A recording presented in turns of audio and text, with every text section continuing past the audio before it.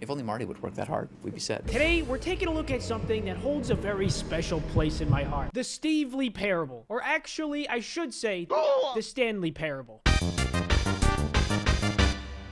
And the reason why this is a special game to me is because when I was younger, I loved the Stanley Parable. It was a game unlike anything I had ever played before, and it was funny and interesting in ways you wouldn't expect. And if you're somebody who's never experienced this game before, I'd be glad to be the first person to show you how it goes. It's a little something like this.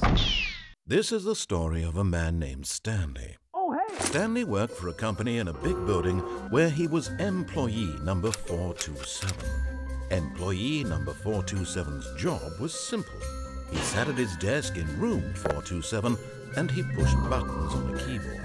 This is what employee 427 did every day of every month of every year. Stanley was happy. And then one day, something very peculiar happened.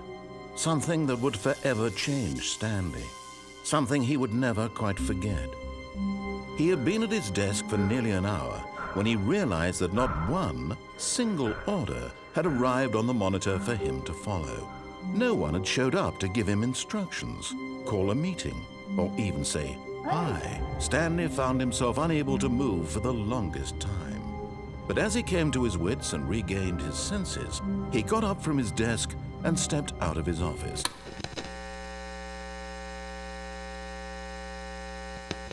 Well, better start the day. Hello? All of his coworkers were gone. What could this mean? Steve decided to go to the meeting room. Perhaps he had missed a memo. I don't want to go to the meeting room. When Steve came to a set of two open doors, he entered the one on his left. That door does look pretty good. That is a good looking door if I've ever seen one. But the door on the right, that's the door you go in when you want to mess things up. I'm feeling edgy today. This was not the correct way to the meeting room, and Steve knew it. Maybe he wanted to stop by the employee lounge. Man, this place rocks. You know, this place, a lot of crazy things happen in this place. Ah, yes. What a room worth admiring. It was worth the detour to stop by this amazing room. Okay, the break room was nice. The break room was nice. I think we should probably go through the correct door. Or we can't, because the door's shut now and I'm stuck here. Eager to get back on track, Steve took the first open door on his left.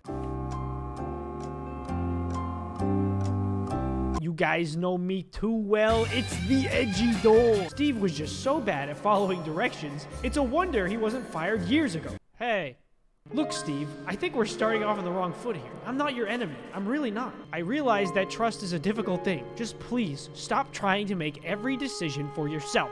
Or is that too hard for you, Steven? To let someone else guide you? Is that unthinkable? This narrator guy is getting too serious, man. I just, I just, it's not that serious. This is it, Steve. Your chance to redeem yourself. It's time to put your work aside and let her back into your life. What are you talking about? Um, hello? Honey, I've missed you so much. I love you. Ha ha ha. Gotcha. Oh, wait, it's a mannequin. You. Ah! Did you actually think you had a wife? I'm sorry if that joke hit too close to home. I'm trying to make a point here, Steve.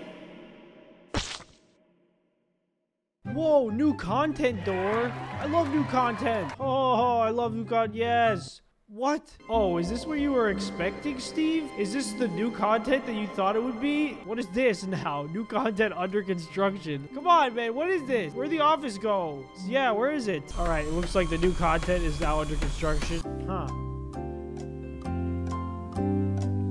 We could climb this ladder. Steve, how'd you get up there? Open. What is this, man? Steve, don't go in there. What are you hiding from me? Please turn around. I don't want to see you hurt. I'm going. I'm going to this portal, dude. You're hiding some.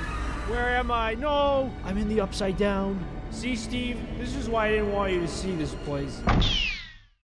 Okay, door on my left. Got it. Got it. We're doing it right this time. Or the game gets mad at me and throws me into the hellish realm. Looks like no one's here. Maybe I didn't get the memo. Steve went upstairs to his boss's office. Wait.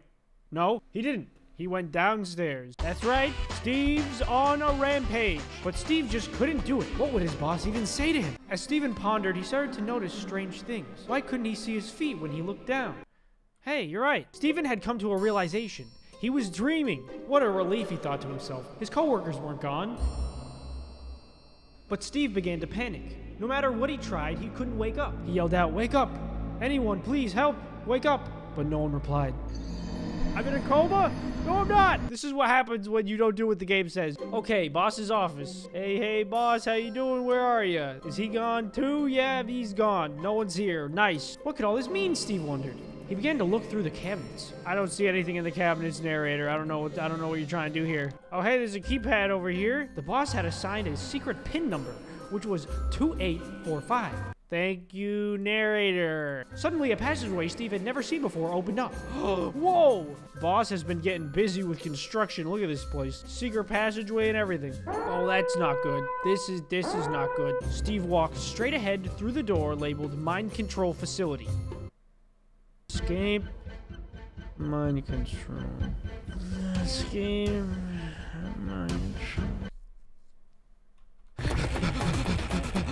Although the path was marked escape, it actually was something else. No, only death awaited Steve at the end of this hall. I don't believe you. I don't I don't believe you. Steve had every opportunity to turn around and get back on track. Nope, nope, nope. He knew that continuing down this hall meant nothing but pain and death. Stop it. You're scaring me. Pit of death. Hmm. Ah! Haha, it wasn't death. You lied. All you have to do is behave just as Steve would. Okay, I'm Steve. This means choosing responsibly and always putting your story first. Don't worry, it's not that hard. Just follow my lead. You'll be fine. When Steve came to a set of two open doors, he entered the door on his left. Those doors are closed, my friend. Okay. Um, should we do it? Should we should we go in the right door? I feel like he'll probably get really mad if we do that, so let's do it! No! Why did you do that? Hurry, go back, the other direction. Hopefully we're not too late. Good lord, what happened here? It's all ruined. I can't believe that after everything we talked about, you still destroyed my work. I might as well shut the game down now that I know it can't be controlled. Hey, listen, I'm still playing the game. Ah, uh, yes, I think I'll shut down the game. I have to. Don't shut down the game! Where am I? I'm back at the doors. Behave just as Steve would. Okay, fine. fine. I will be Steve. I'll be a good Steven now. We go upstairs. We go to the boss's office. We're going to get the good ending this time. Okay, so we're not going to go escape because that's a trick. That's a trap. We're going in the mind control room. I love mind control. Love it. This is my favorite place in the whole world. The lights rose, revealing an enormous room packed with television screens. The monitors on the walls suddenly jumped to life, with their true nature revealed. Was this mind control facility really true? Had Steve really been under someone's control the whole time? Steve had found the secret source of the system's power. He knew what he had to do. He had to end this horrible place. Do I shut off the mind control device or do I turn it on? I'm gonna turn it on. Did you really just do that? Oh, Steven. You've been enslaved by the system all these years. Is that what you want? Control? I applaud your effort. I really do. But you were supposed to turn it off. Would it kill you to follow my story? Oh, God. Oh, God. What do I do? What do I do? I'm running. Guys, I don't think I'm to make it out of here. I, I think, uh... I think, I think, I, I don't know. I. Okay, fine. We turning it off.